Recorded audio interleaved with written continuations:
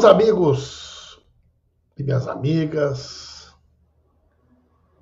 queridos companheiros e companheiras que nos acompanham aqui na rede da Resistência. Em primeiro lugar, sejam todos muito bem-vindos, sejam todas muito bem-vindas. Vocês sabem como, para mim, é importante a presença de vocês aqui. Né? Valorizo muito a presença de vocês aqui. Né? Afinal de contas, foi graças a vocês, meus amigos e minhas amigas, que eh, esta rede se tornou a mais importante rede de resistência, de defesa da democracia, de luta pela soberania na esquerda brasileira. Essa é a rede da resistência. Essa rede que foi construída por vocês. Né? Mas, meus queridos companheiros, minhas queridas companheiras, o ministro do Supremo Tribunal Federal, vereador Rony Welter, o ministro do Supremo Tribunal Federal, teria dito ontem uh, a seguinte frase: Eu, se fosse o Moro, parava de tentar falar sobre essas mensagens que estão aparecendo e corria para contratar um advogado. Minha querida Inês dos Santos, lá de Maringá. Foi isso que disse ontem o ministro do STF. Eu, se fosse o Moro, né, uh, parava de, de falar e corria para contratar um advogado. Né? É, você sabe que é, na política, na vida pública. Pior coisa para uma pessoa é ser desmascarada. Ser desmascarada. Né? Porque tem, tem político, gente, que assume que é sem vergonha. Assume. Né? Uh, não esconde. Os caras são condenados. Vão lá e se elege. Pior é que se elege. Tem eleitor para tudo. Tem eleitor até para isso. Tem, tem eleitor até para votar e ser vergonha. Coloca aí a hashtag Anula STF. Coloca a hashtag Anula STF, coloca a hashtag é, Fora Bolsonaro, Anula STF. Né? Tem eleitor até para votar e sem vergonha, gente. Pode ter certeza disso. Olha, olha quantos sem vergonhas aí foram eleitos prefeitos, prefeitas aí nessa última eleição. Então não. Agora, o pior é aquele cara, gente, que pinta, que pinta de bonzinho. Sempre com o terno bem cortado, óculos de aros finos, cabelo bem aparado, bochechas rosadas. Né? Aí começa a fazer palestras. Levam ele no show, levam nos programas de televisão começam a ser convidados para fazer palestras em eventos de médicos, de engenheiros, levam em universidades, pagam um monte de dinheiro. Os novos exemplos dos homens públicos que o Brasil precisa. Jair Bolsonaro,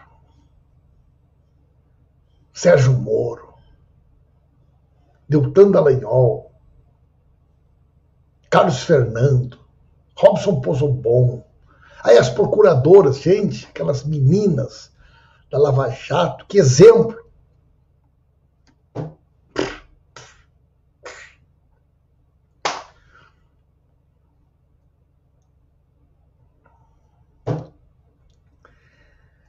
E vou dizer para vocês, eu, eu, eu tenho vários defeitos, gente, eu tenho vários defeitos. Um deles não é a vaidade, não é o excesso de ego, não é esse desespero por aparecer nas câmaras de TV. Eu tenho vários defeitos, professora Naura Fontana, mas esse eu não tenho. Uma vez eu cheguei em Curitiba, uma vez eu cheguei em Curitiba, professora Naura, desci no aeroporto e tinha um, outdoor, mas não é esses outdoorzinho aí, pequenininho que a gente vê. Era um outdoor, rapaz, era um negócio grande, mas enorme, enorme, enorme, enorme. Daqueles outdoors cheios de luz, holofote, todo cheio de holofote. E tinha uma foto de todos eles procuradores, assim, com ternos bem cortados, braços cruzados, assim fazendo aquela pose do filme do Elliot Ness, Os Intocáveis. Elliot Ness, Elliot Ness, eu acho que era, né? Do filme dos, dos Intocáveis. Os procuradores federais americanos que enfrentaram a máfia. E tinha uma foto deles todos, assim, com olhar sério, assim. Embaixo estava escrito: Você está chegando em Curitiba, a terra da Lava Jato.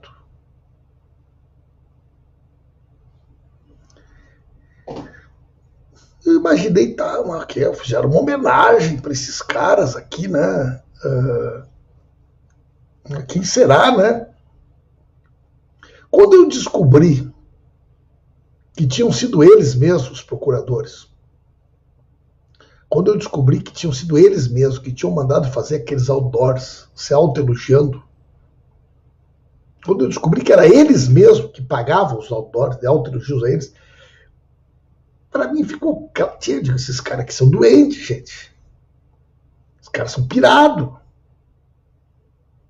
O cara mandar fazer um outdoor de autoelogio, espalhar por Curitiba, espalhar por tudo quanto é lugar. Se autoelogiando, o cara tem que ser pirado, gente. Né? Não é possível.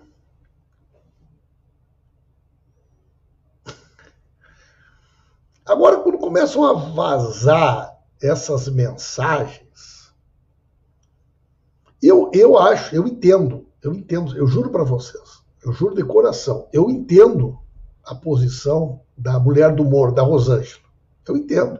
Ela está desesperada, ela entrou com uma ação no STF, foi pedir ajuda para o Faquin, estão pedindo ajuda da imprensa, o, o, o, o Dalaiol, os procuradores entraram com uma ação. Pelo amor de Deus, gente, pelo amor de Deus, parem de divulgar mensagem, parem de divulgar essas mensagens, pelo amor de Deus. Por que, que eles estão desesperados, gente? Por que, que eles estão apavorados, Belkis? Porque cada mensagem é um crime. Tinha aquela, não sei se é um ditado popular que diz, né? Cada, cada gole um tombo, não tem, não sei o que um tombo, cada gole um tombo. Noja. Cada não sei o que lá é um tombo. Como é que é aquela frase? Cada gole um tombo, cada não sei o que lá é um tombo. É, é, ela, cada mensagem é um crime. Cada mensagem é um crime. Desmoralizar, desmoralizaram completamente o sistema judicial brasileiro. Desmoralizaram completamente o Ministério Público. Moro envergonha os juízes brasileiros, os procuradores envergonham o Ministério Público brasileiro, Sebastião. Tem que tudo para cadeia. Tem que tudo para cadeia. Responder pelos crimes que cometeram. Em cana. Talvez lá em Bangu 8. Junto com o Bolsonaro, junto com o Queiroz, junto com as pessoas que eles que eles ajudaram a. O Brasil não estaria aí, o Brasil não estaria aí. Né? O Brasil não estaria aí. Não adianta me ameaçar aqui, tal de Elvio de Praia. Isso é tudo mentira, rapaz. Mentira, rapaz. Canalha, mentiroso, sem vergonha. Canalha, mentiroso, sem vergonha, que espalha fake news contra mim. Não pega, rapaz. Não tenho medo de ser vergonha. Não tenho medo de picareta, não tenho medo de gente que nem tu. Conheço gente sem vergonha de longe, rapaz. Então aí agora foram pego, foram pego no grampo, né?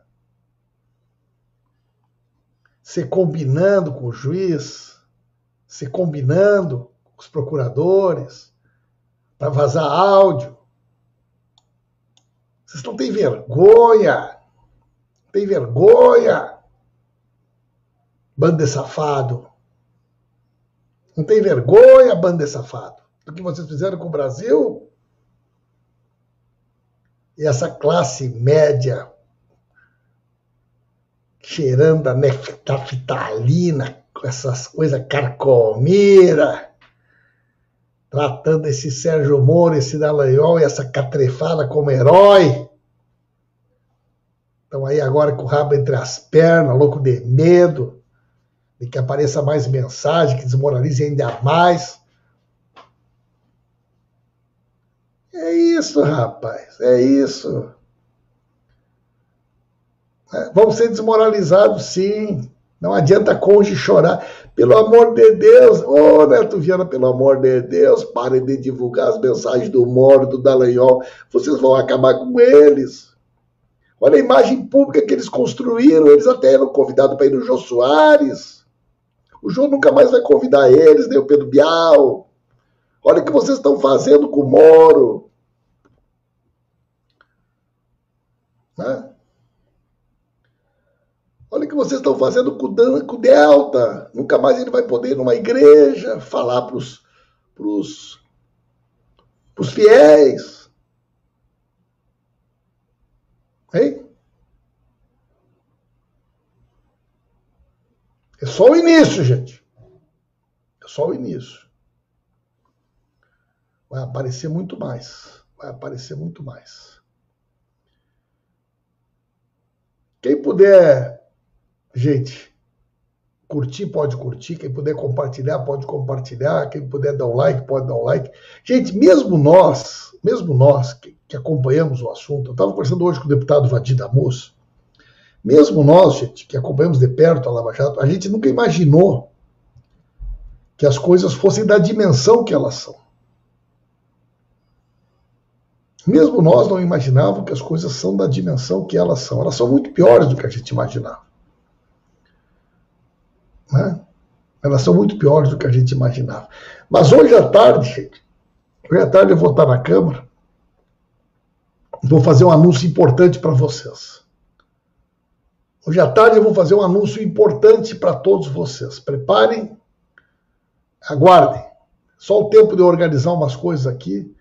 E hoje à tarde eu vou fazer um sobre esse assunto, sobre esse assunto. Um abraço. À tarde hoje vai ter novidade. Vai ter novidades.